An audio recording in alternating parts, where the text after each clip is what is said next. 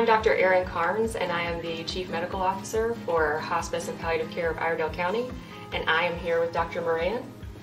And I'm Dr. Joseph Moran. I've been in Piedmont Healthcare now since the inception of Piedmont Healthcare. My office is in Statesville, and I'm a primary care internal medicine physician.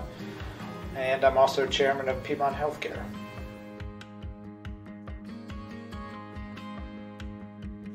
So we're going to talk about advanced directives today, some questions, because I've had patients have concerns and misunderstandings. Like one question I get is, oh, I have a will, but they don't really understand the difference between a living will and a will. Do you mind talking about that?